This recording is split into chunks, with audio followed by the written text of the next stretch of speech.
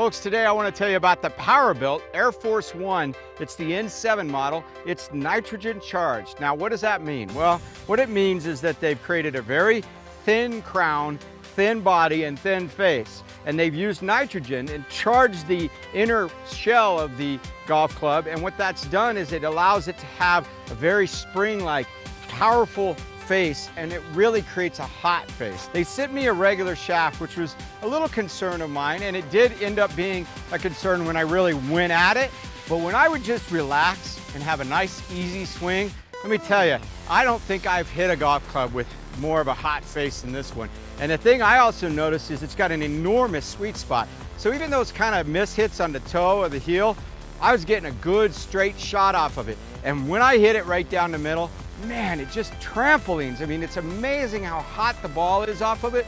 I was really able to back up on my swing, let the shaft do the work, not have to really go get it, and let this face do the work for me. The ball flight is really hot and really just boring, just kind of flies off. I found that it was a little bit of a lower trajectory, but not so low that it was a problem. It was actually a ball flight that was really preferable for me. Now, one con, I guess, is these days a lot of people like the interchangeability. This is not got an interchangeability. It's a 9.5, so what you buy is what you get. But let's face it, if you take and get a club fit for you, you're gonna know what that loft is and you're pretty much gonna play that for the rest of its life. So just go ahead and make sure that you know what loft is gonna be best for you before you buy one. This is a very good grip, very soft, supple type of a grip. Great shaft. They've got the Motore F3 Fujikura shaft. And again, this head design is phenomenal with the nitrogen charge.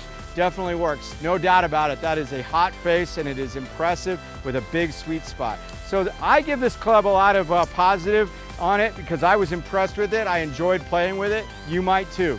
Hope this review has helped you out.